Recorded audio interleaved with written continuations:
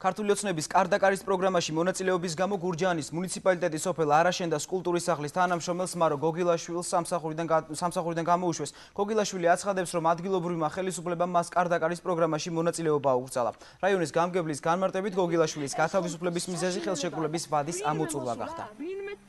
თუ შემოსულა ამ სოფელში ეხმუშაოს და იმას კონდეს სამუშაო და იმას კონდეს ყვილად სულ ყვილად ვარ დარჩენი რაც მე ქართული ოცნების მხარდამჭერი გავხდი გამაფრთხილეს სამი დღის უკან რომ შემექმნებოდა პრობლემები თუ არ გავჩერდებოდი. მე რა თქმა უნდა ისევ ჩემი აზრი ჩემ აზრზე დავრჩი და არ მოусმინი ამ ადამიანს და დღეს მომივიდა განცხადება განთავისუფლების სამსახურიდან განთავისუფლების განცხადება.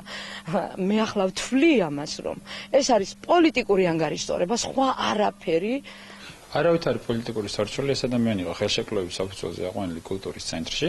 შესაბამისად გავუვიდა ხელშეკრულების ვადა და ხელმძღვანელმა კულტურის ცენტრის ხელმძღვანელმა მიიღო გადაწყვეტილება, რომ აღარ იყო საჭირო ამ შემთხვევაში ფინანსების ნაკლებობა იყო, თქვა, არ იყო ეს მიმართულება პრიორიტეტული და აღარ გაიგზავნა ხელშეკრულება. არავითარი პოლიტიკური სარჩელი აქ საუბარი ნამდვილად არ შეიძლება.